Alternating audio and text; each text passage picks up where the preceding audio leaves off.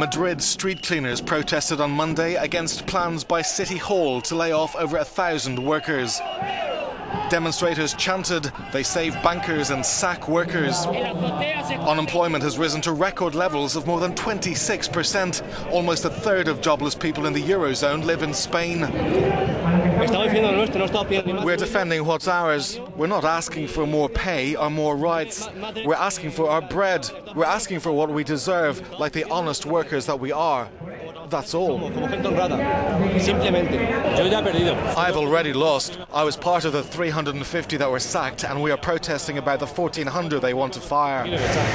Many streets were left with food and rubbish piled up as unions and their contractors failed to find a solution to the conflict. Spain has made deep spending cuts in its public services sector to reduce one of the Eurozone's highest budget deficits.